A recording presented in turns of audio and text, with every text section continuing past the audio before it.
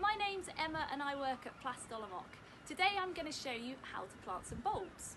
There's a few things you need to know or do first before you plant your bulbs. That is to clear a bed or prepare a pot. Now, I've got a nice piece of ground here, but I still had to do lots of weeding. So this is all the stuff that has come out of this tiny little bit of bed just to make it ready for planting my bulbs. If you only have got space for pots, then you need a pot. But what is important with a pot is that you put lots of rocks in the bottom before you put your compost and soil on top of it to allow drainage. The next thing you need to know is when you plant your bulb is which way to put it in. So we've got roots growing from the bottom and the shoots growing up. So roots to the bottom and shoots growing up. My other top tip for planting bulbs is to lay your bulbs out where you want them to grow, okay?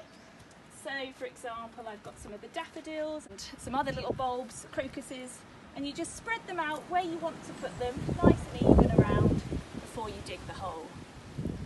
When you dig the hole, for example, this daffodil bulb needs to be the depth, roughly speaking, three times the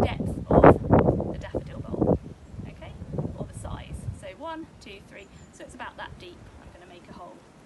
So if I show you in the pot I'm going to get my hands in get my hands mucky dig it right down making sure that the shoots are going up and the roots are growing down. Okay and then you just pop the soil on top. The same in my bed.